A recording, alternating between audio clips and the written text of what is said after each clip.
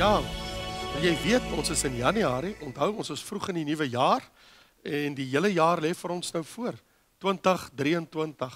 Dit is ongelooflik om te dink dat ons alweer ons in 'n nuwe jaar bevind en alweer in die tweede naweek van die nuwe jaar.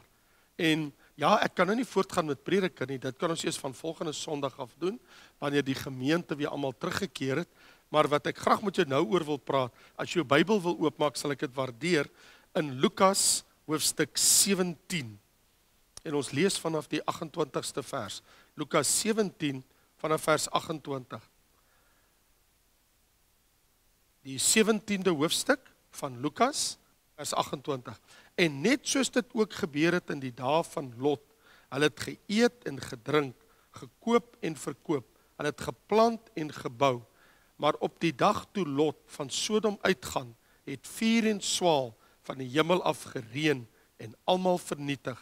Net so sal dit wees in die dag wanneer die seun van die mens geopenbaar word.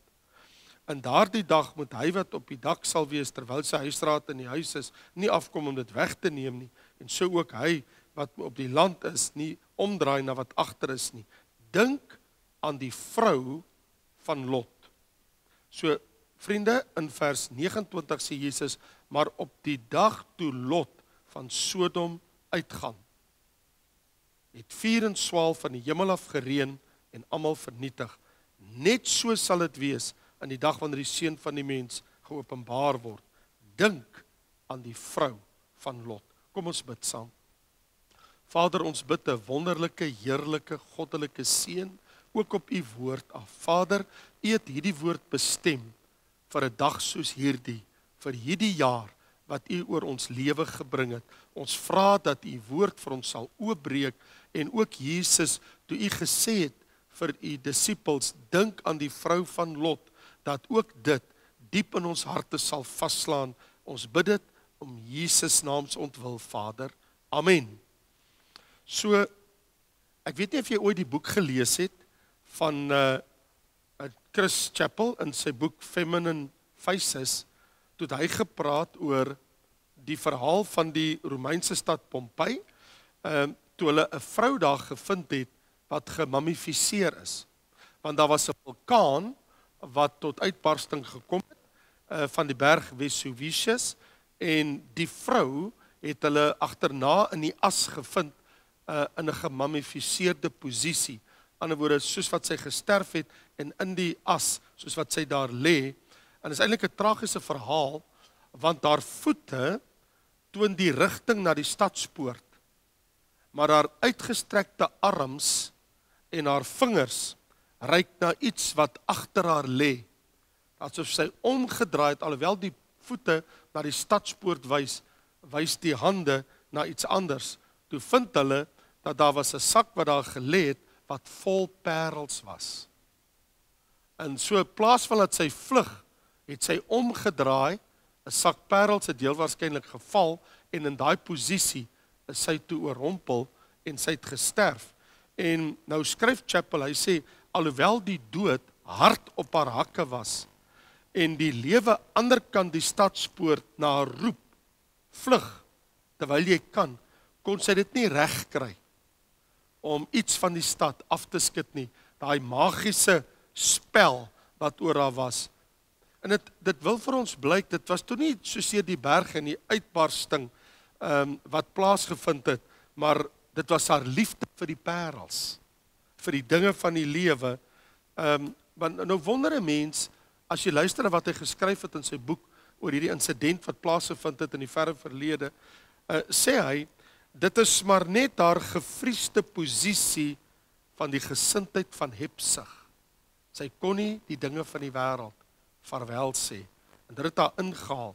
En dit laat 'n mens dink aan Jesus se woorde, dink aan die vrou van Lot.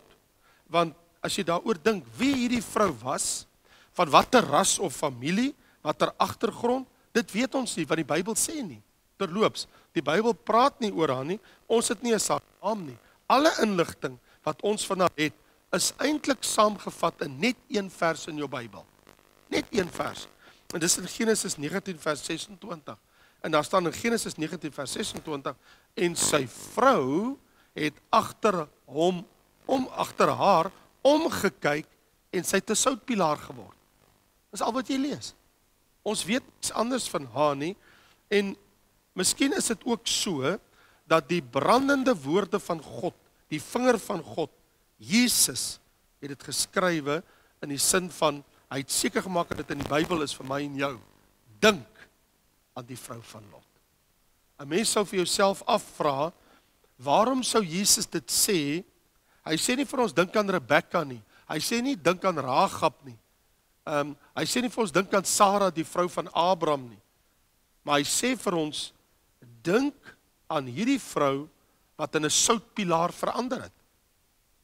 Wat 'n monument geword het van 'n ongelowige siel wat nie aggeslaan het op 'n goddelike waarskuwing terloops. Haar man was 'n regverdige man. Hy was 'n godvreesende man, Lot, alhoewel hy al hoe nader nader gewoon het aan die poorte uh, van Sodom en later tot by die stad gekom het, um, het Abraham tog gebid en gesê, "Sal U die regverdige met die onregverdiges ombring?" En daarom het die engel gegaan om Lot die regverdige uit die stad uit te lei.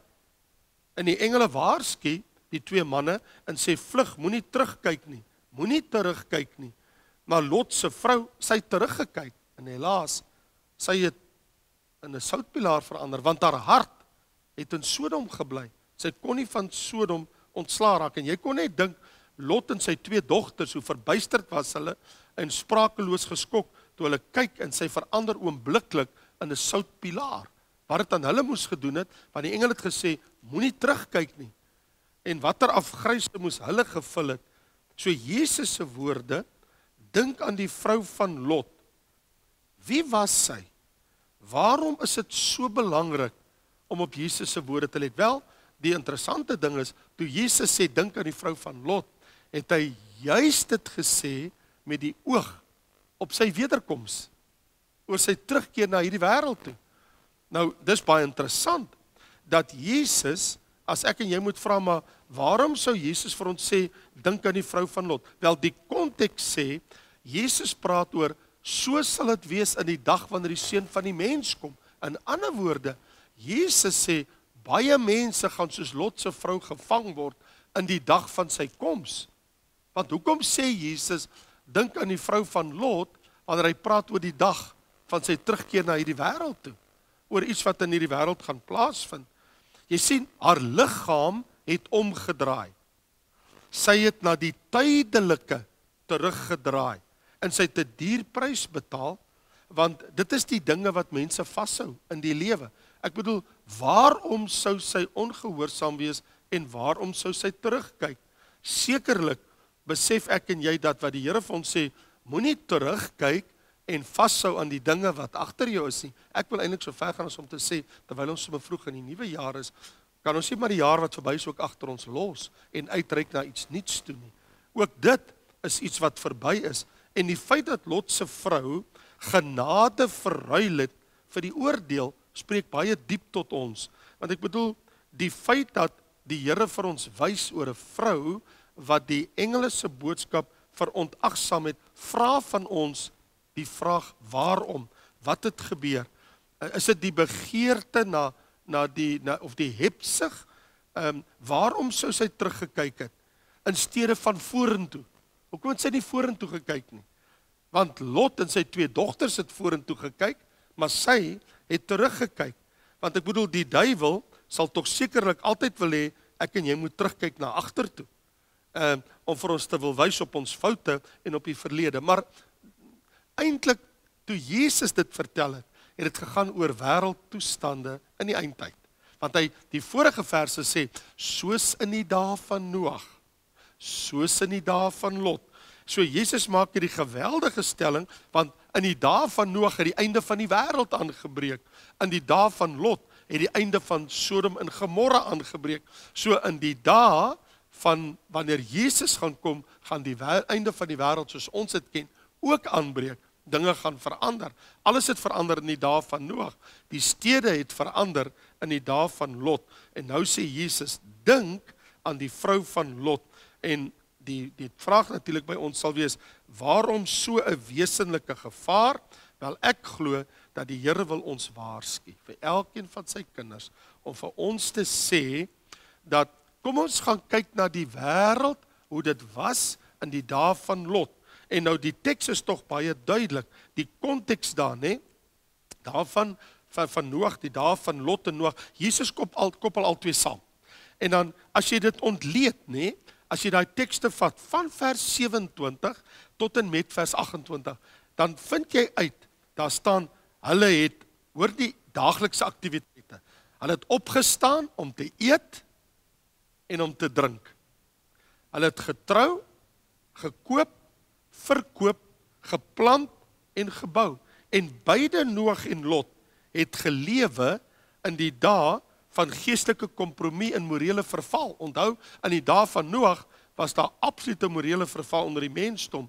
In die geval van Lot was daar totale morele ineenstorting in die stede van Sodom en Gomorra. So die Genesis verhaal wat praat van Lot en ook van Noag vertel vir ons van hierdie verskriklike goed wat gebeur het. In Lot se dag was dit die onnatuurlike begeertes en uh, seksuele drange en die liste van Sodom en Gomorra se manne wat tot teen die hemel gereik het. Soveel so dat in Genesis 18 sê die Here, hulle sondes het tot aan die hemel gereik en ek wil kom kyk of dit so is. Ek wil neerdaal en ek wil kyk of wat ek gehoor het of dit werklik so is. En dat die Here dit so sê in Genesis 18 vers 20 en 21 en toe hy daar kom en dit was tog Abraham wat gebid het tot die Here en openbaar dat hy gaan die stede ver, vernietig. Toe bid Abraham want hy weet dat sy broerskind Lot is daar in Sodom. Toe vra hy vir die Here en hy pleit. Hy sê Here, maar miskien is daar net ehm um, miskien is daar 40, miskien is daar 20, miskien is daar 10 en en en hy bly vir die Here vra want hy's nou baie bekommerd want hy hoor die Here gaan die stede verwoes en hy weet dat sy sy broerskind Lot met sy familie is daar en hy pleit by die Here. En die Here sê: "Nee, as ek soveel manne daar vind, sal ek dit nie vernietig nie." Want die Here het nie soveel mense daar gevind wat hy gesê het nie, so hy gaan dit vernietig. En ten spyte daarvan dat die Here dit besluit het, stuur die Here twee engele om die regverdige man Lot daar weg te lei en dat sy familie kan gered word saam met hom. En hulle is uitgelei uit die stad uit. Lot, sy vrou en sy twee kinders is uit die stad uitgelei. Hulle het die stad ontvlug. Hulle was buitekant die stad en soos wat hulle buitekant die stad is, toe sê die engele vir hulle: "Julle mag nie terugkyk nie. Julle mag glad nie omkyk nie. Julle moet net voor julle kyk." En daai omdraai slag het 'n geweldige ding uh ontketen want die die die baie belangrike ding hier as 'n mens 'n uh, ontleding doen van die teks, dan kom jy agter dat Jesus vertel hierdie gebeurtenis van Noag en van Lot om vir ons te sê ek bring vir jou sekerheid. Die wêreld sal geoordeel word. Dit was geoordeel in die dag van Noag. Dit is geoordeel in die dag van Lot, daai stede. En die skielikheid. Jy gaan as jy nie gereed is nie, gaan jy onvoorbereid betrap word. Daar gaan nie tyd wees om reg te maak nie. Soos in die dag van Noag, toe die ark se deur gesluit is, toe sit te laat. In die dag van Lot, toe Lot uit die stad is, toe sit te laat vir die mense in die stad. Niemand kan meer dit ontvlug nie. So en, en natuurlik as jy ons na die Bybel gaan kyk in die eindtyd perikoop, dan lees ek in 1 Korintiërs hoofstuk 15 vers 51 en kyk, ek deel julle 'n verborgenheid mee. Ons sal nie almal ontslaap nie, maar ons sal almal verander word. In 'n oomblik, in 'n oogwink by die laaste bassein, want die bassein sal weer klink en die dode sal onverganklik opgewek word en ons sal verander word want hierdie verganklike moet met onverganklikheid bekleed word en hierdie sterflike met onsterflikheid. Maar die Bybel sê in 'n oomblik, in 'n oogwink, net soos die oomblik toe die ark toegesluit is, die oomblik toe Lot met sy familie buitekant die stad was. So en hier staan in 'n oomblik, in 'n oogwink en dis presies dit wat Jesus voortdurend vir ons wil sê. Jy sal selfs in die evangelies lees, hy sê soos 'n dief in die nag. Dit is skielik, dit is wanneer jy dit die minste verwag. Nou die feit dat die Here sê dink aan die vrou van Lot. Daar's tog twee dinge wat uitkom, haar oortreding wat haar skuldig gemaak het, haar sonde, sy het nie sy was ongehoorsaam aan die bevel van die twee engele en haar oordeel. Nou maar jy mag by jouself dink, maar dis 'n klein ding om maar net om te draai en terug te kyk. Wat is nou so erg daaraan? Jy sal vir jouself sê maar wat is dan nou so erg om net om te draai en oor jou skouer agtertoe te kyk? Hoekom was dit dan so geweldige ding? Wel, daai omdraai slag van Lot se vrou, wie se naam ons nie het nie. Die feit dat sy gestop het, want om om te draai, moes sy stop. Sy moes in haar spore stop. So sy moes tot stilstand kom. Sy moes ophou vlug. Toe stop sy sodat sy kan omkyk. En dit toon aan ons haar ongeloof. Sy het nie geglo die woord van die engele nie. As sy geglo het, moes sy opgetree het volgens hulle woord. Dit toon aan ons haar ongehoorsaamheid. Sy was nie gehoorsaam aan die opdrag nie. Dit toon aan ons eintlik haar hart, die wêreldsheid van dit wat agterbly in die stad, in haar huis, en alles wat sy het. Daar's iets van die wêreld wat sy kan haar nie loskeer nie. En natuurlik, Jesus sou dus nou sê, dink aan die vrou van Lot, want hy wil ons herinner aan 'n vrou wat in 'n soutpilaar verander het. So die gevaar van om afvallig te wees, die gevaar van 'n wêreldsgesindheid, ongehoorsaamheid, die gevaar van om om ongelowig te wees op wat God se woord vir ons sê. So, weet jy wat is vir my skrikwekkend in Lot se vrou se verhaal? Sy was amper gered. Sy het hulp van engele gekry. Hulle het hulle aan die hand gegryp vir haar, haar man en haar twee dogters en sy was al buite kan die stad. Sy sal uit by die poorte van die stad. So in ander woorde, sy was eintlik bykans gered.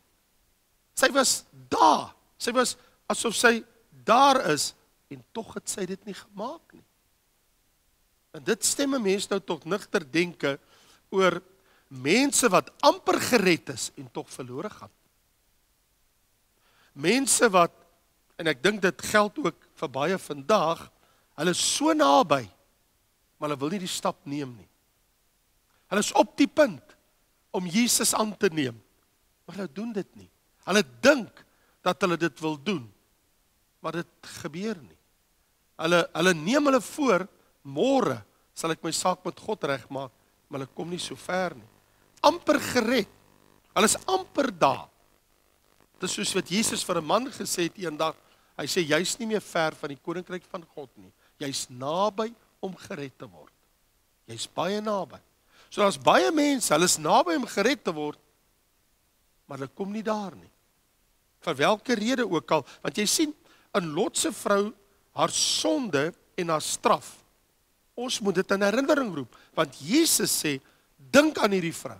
Bedoelende dink aan hierdie mens wat bykans gered was en tog ten gronde gegaan het en verlore gegaan het. Dink daaroor. So dit is 'n oproep vir my en jou om ons tot nugterheid te stem. Aan ander woorde, onthou Lot se vrou. Onthou daai vrou. Dink aan daai vrou. Dit stem 'n mens tot diepe nadenke. Ehm um, die vrou wat gedraal het. Wat voete gesleep het. Wat omgedraai het en in die proses verlore gegaan het. Haar einde was 'n soutpilaar. En haar oordeel was skielik. Dit is vreemd. Wie sou nou ooit kon dink dat so iets met 'n mens kan gebeur? Sy het in 'n soutpilaar verander. Dit is skandevol. Hoe verskriklik. amper gered, bykans gered, saam met jou man en jou dogters buite die stad en tog maak jy dit nie. So sal dit wees met die dag van die Here se wederkoms want hy sê soos letterlik Jesus se woorde in Lukas 17 hy sê soos dit gebeur het in die dae van Lot sê hy vers 30 net so Lukas 17 vers 30 sal dit wees in die dag wanneer die seun van die mens verskyn Jesus sê daar gaan baie mense wees wat gaan verlore gaan hulle gaan ten gronde gaan Hulle is soos Lot se vrou. Net so sal dit wees in die dag wanneer die seun van die mens verskyn. In ander woorde, hulle moet die toren van God tegemoet gaan. So as 'n mens oor die dinge dink, dan besef jy een van die gevaarlikste dinge wat 'n mens ooit in jou lewe kan doen is wanneer jy die woord môre ontdek. Ek sal môre my saak met God stel. Ek sal môre myself in gereedheid bring by die Here. Want jy sien, daar is baie keer nie 'n môre nie. Dink byvoorbeeld hieroor in Lukas hoofstuk 12. Ek lees hier staan in vers 40. Daar staan: Julle moet ook gereed wees omdat die seun van die mens kom op 'n uur dat julle dit nie verwag nie. Daar kom 'n oomblik, vers 45. Maar hy het nie geweet en nou staan daar. Maar al as hierdie diensteg in sy hart sê, my Heer talm om te kom. My Heer talm, hy vat te lank. Ek is nou ongeduldig. Ek gaan nou my eie ding doen. Want jy sien, wat moet nog gebeur voordat ek en jy in hierdie nuwe jaar ons saak met God wil regmaak? Ons lewe wil skik met die Here. Want ek sal vind dat in die dae van kom ek dit nou vir jou reguit sê. In die dae van Noag het almal omgekom wat in die ark was. In die dae van Lot het almal omgekom wat in Sodom en Gomorra was en selfs iemand wat buite die stad was. Die vrou van Lot, selfs sy het omgekom. Wow. En nou so waarsku Jesus ons waak en bid sodat jy waardig geag mag word. So wat baie aangrypend is vir my in beide Jesus se aanhalinge van die gebeure van Noag en Lot. En dis die punt wat ek wil maak, vriende. Dierbares, luister na die woord van die Here. As jy na hierdie woorde gaan kyk en Jesus se vertelling van eindtyd gebeure, dan besef ons eintlik iets. Jesus het nie na hierdie sondige toestande in die dae van Lot en in die dae van Noag na verwys nie. Ek en jy sou gedink het. Ehm um, toe Jesus sê, ek wil jou jy moet baie mooi oplet wat in jou Bybel staan. Jy moenie lees wat daar nie staan nie. Ek en jy weet in die Genesis verhaal van Noag en in die Genesis verhaal van Lot word die sondes van die stede Sodom en Gomorra uitgelig en word die sonde van die mensdom in die dae van Noag uitgelig. Jesus doen nie dit nie. Hy het dit nie gedoen nie. Toe hy praat oor die dae van Noag en die dae van Lot, het hy nie dit gedoen nie. Is eintlik aangrypend. Hy laat die klem nie val op die verkeerdheid van die sonde van die mens. Dit het hy nooit gedoen nie. Dis nie wat daar staan nie. Dis nie wat in jou Bybel staan nie. Ek en jy neem dit aan. Ons sal sê ja, was homoseksuele stede en die Here het terugoordeel. En dit is korrek en dit is waar, maar Jesus het dit nie gesê nie. In die geval van Noag met die bevolkingsontploffing en die geweld van die mense, die sondes in sy jeug. Ja, natuurlik is dit waar, maar Jesus het dit nie gesê nie. Hy het nie die klem daar laat val nie. Wat vir my aangrypend is, en dit moet ek en jy baie baie duidelik in ons hart verstaan, is dat toe Jesus wel die praat, laat val hy die klem, wil jy glo as jy Lukas 17 gaan lees, laat val hy die klem op die probleem van die doodgewone alledaagse aktiwiteite wat mense uitleef van dag tot dag. Hy sê hulle het geëet en gedrink. Wat's verkeerd daarmee? Gekoop en verkoop. Wat's verkeerd daarmee? Geplant en gebou. Wat is verkeerd daarmee? So hy sê hulle bou, hulle plant. Hulle het getrou en in huwelik uitgegee. Wat is verkeerd daarmee? Wat 'n sonde is daar daarin? Maar die klem laat Jesus val op die onverskilligheid van die mens. In ander woorde, dit was nie so seer die sonde van die mens of hoe groot hulle sonde was nie, maar die onverskilligheid wat tot hulle ondergang gelei het dit dit het 'n skielike verderf oor hulle gebring. Dit het 'n vernietiging gebring. Hulle onverskilligheid. In ander woorde, Jesus sê wanneer hy gaan kom, die mense gaan so besig wees met die daaglikse rotine van die lewe. Hulle is so behep met die lewe. Wat eet ons? Wat drink ons? Wat trek ons aan? Waar gaan ons heen? En wat kan ons koop? En wat kan ons verkoop? En watter winkelsentrum gaan ons? Watse piknikplek toe gaan ons? Waar gaan ons trou en waar gaan ons fees vier? Hulle hulle in teenoor God het hulle almal onverskillig gestaan. So in die dae van Noag was hulle almal onverskillig teenoor God. In die dae van Lot, daai twee stede, onverskillig teenoor God. Dit wil dus sê, hulle het nie ag geslaan op God nie. Hulle het nie ag geslaan op sy woord nie. Dis aangrypend as jy sien wat Jesus op die tafel sit om te sê dat in die dag van sy koms die mens gaan so besig wees to live everyday life as if God don't exist. Dis die probleem. Dis die onverskilligheid. The ignorance of man. Die onkunde wat daar is. Hulle was so opgeneem met hulle eie dinge dat hulle die God van die hemel buite rekening gelaat het in hulle daaglikse lewe. Hulle doen net wat hulle wil doen, vandat hulle wakker word tot hulle gaan slaap en in die middel van die nag. En dit is waar, mense bly strewe na iets beter, iets groter, iets meer vasgevang, hulle eie ambisies, dat hulle selfs wonder of hulle siel het. Hulle wil nie praat oor die ewigheid nie. Hulle wil nie eens praat oor die dood nie. Hulle wil nie praat oor die God van die hemel en sy woord en dat staan sy seun wat sy lewe vir hulle gegee het en vir hulle aan die kruis gesterf het. Geen gedagte aan hom of aan hulle sondes nie. Hulle leef net hulle eie lewe en staan onverskillig teenoor die God van die hemel. Hulle lewe gemaklike, gerusstellende lewe, vol eie genoegdoening, gemaksigtig. Intussen is hulle absoluut verlore. Soos Lot se vrou. En Jesus is absoluut in die kol. Ek bedoel as jy gaan kyk na uh, Lukas 21, dan sê Jesus presies soos dit is vers 34. Pas op vir jouself, nie vir die duiwel nie.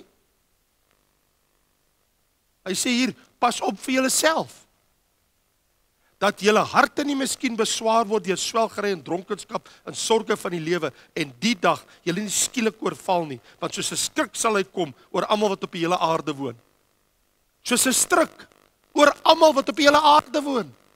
Hoekom? Want pas op vir jouself. Hoekom?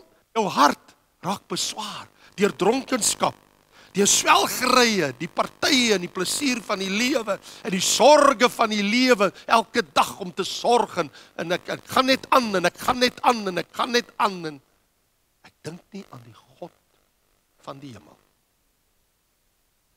Ek het nie ruimte vir hom in my lewe. Dink aan die vrou van Lot. amper gered en tog verlore. Sy het teruggekyk Miskien moet ek vir oulaas nog een keer vra. Waarom? Waarom? Want ek dink sy kon nie haarself 'n lewe voorstel sonder haar besittings daar agter in die stad.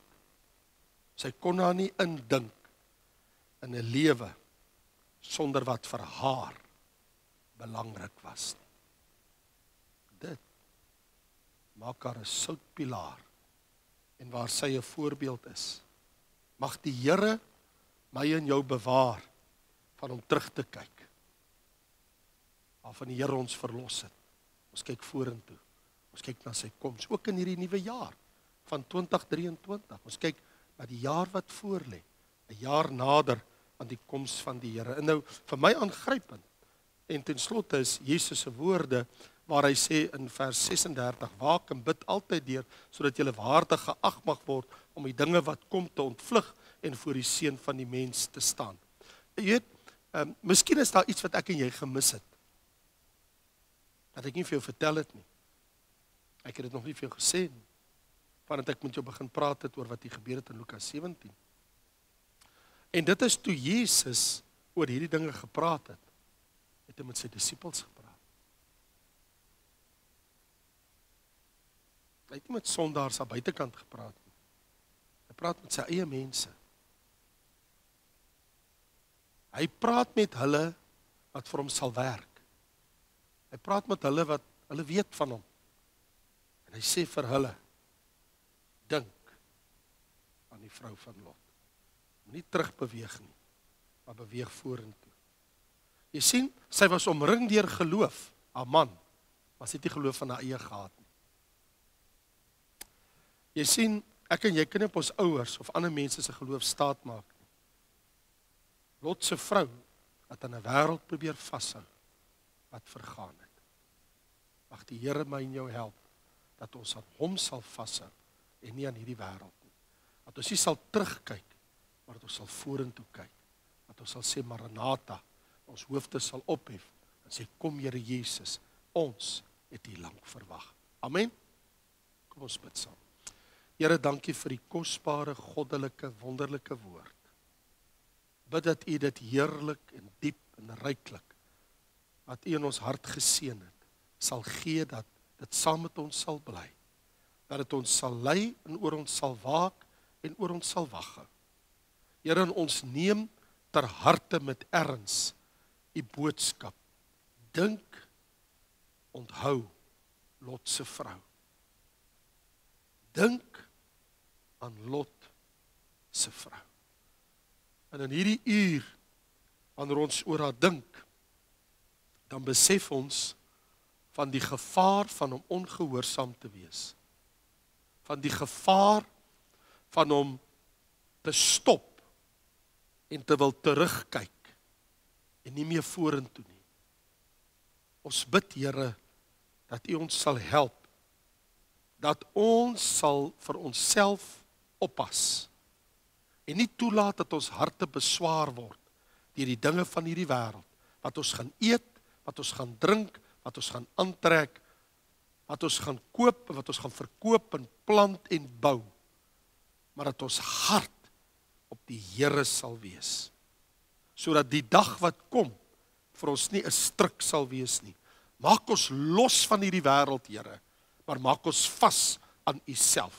U woord sê, waak dan en bid altyd deur sodat jy waardig geag mag word om al hierdie dinge wat kom te ontvlug en voor die seun van die mens te staan te kom. Dankie daarvoor, Here. Help ons en lei vir ons in u waarheid in Jesus naam. Amen. Baie dankie, mag die Here vir julle seën en onthou volgende week dan keer ons terug na ons boek Prediker want ons reis moet ons nou voortsit. Kom ons ontvang die seën van die Here. Mag die genade van God ons hemelse Vader, die liefde van sy seun Jesus Christus en die kosbare gemeenskap van sy lieflike Heilige Gees met ons wees en bly totdat Jesus kom. En al die kinders van die Here sê: Amen. God seën jou.